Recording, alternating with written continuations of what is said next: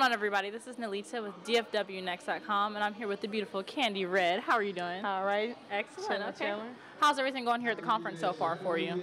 Everything going real good. The Go DJs, you know, I had to come out and support them. Um, last year, you know, I did the same interview with y'all, and uh, that was when I was first getting a record on. Go DJ supported it, so I definitely had to come out and show love again this year because a lot of artists, once they get on, they don't come back and show the DJs love. So I had to had to do that for the Go DJs. Exactly, exactly. So, with the great success of your single, Independent Chicks Like, tell me more about that, or like, what do you have going on now? What's next? Uh, we shot the video, of course, with Boomtown. Uh, shout out to Mr. Boomtown. He did his thing. Him and his team. They held me down for the video, and um, we about that. That you can be expecting to see that on MTV and BET pretty soon. And right now, I'm pumping the second single, which is Stiletto Stump. So all the ladies, step your heel game up. Summertime coming around. Five inches or higher, Stiletto Stump. Y'all be looking out for it. Exactly, another anthem for the ladies. I know all the ladies appreciate that. We we often talk about like the lack of female hip hop artists nowadays, and you know, how do you feel about that, or what do you think is holding it back for female artists?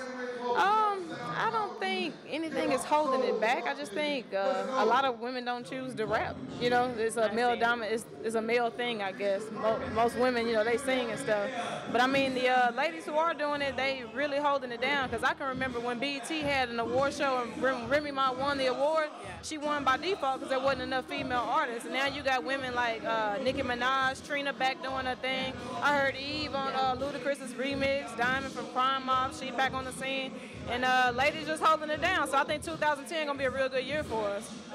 I wanted to ask you too, do you ever feel the pressures for female artists to be more sexy or have sexual content in their lyrics, you know? That, of course, uh, the boys are gonna want that. You know, that's why I do a lot of anthems for the women because as a woman, you know, more females are gonna be receptive to our music because we don't have a female making music for us. You know, the guys they got the D-boy music and stuff for them in the club. It's time for us to have something for us too. There's nothing wrong with the sexual lyrics, but I wouldn't create a whole album of that. I feel like the female consumer is really being cheated because if all we have to offer is how good we look and how we can work our body, then we don't have much to offer. Yeah. So who would you say is your all-time favorite female hip hop artist?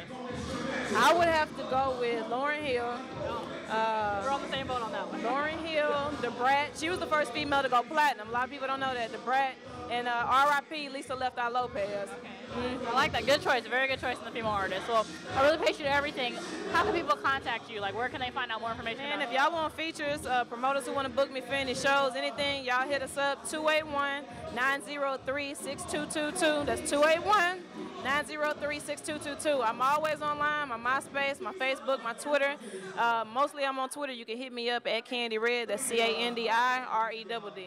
It comes straight to my phone, so that's just like having my number. You hit me on Twitter, I will see it. I was going to say, those fans, you know, to be after you after this.